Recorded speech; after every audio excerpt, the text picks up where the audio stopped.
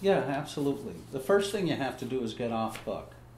Okay, the, the, you can't you can't be in the moment if you're reading the lines.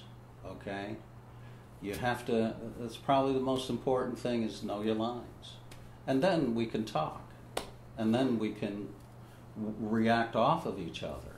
You know what I mean? Because we're looking at each other, we're paying attention to each other, kind of feeling each other. If if if I have to do this every time, right away I'm going to go right back into my head because now I have to. This is what I have to say, and it takes me away from that.